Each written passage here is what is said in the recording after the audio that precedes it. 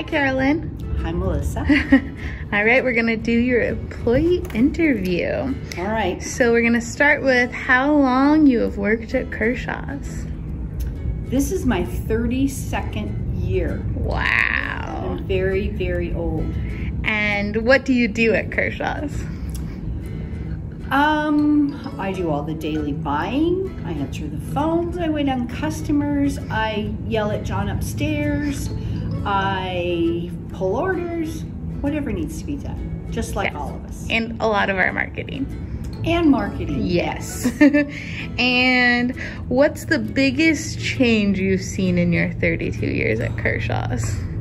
Oh my gosh, there's so many things. Um, we no longer sell uh, five and a quarter inch discs or um, ribbons for typewriters.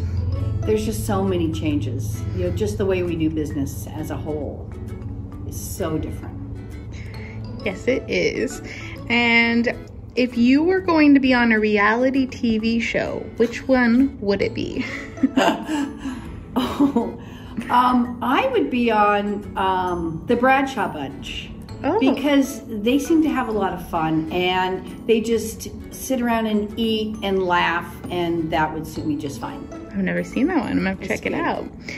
And you are happiest when you're what?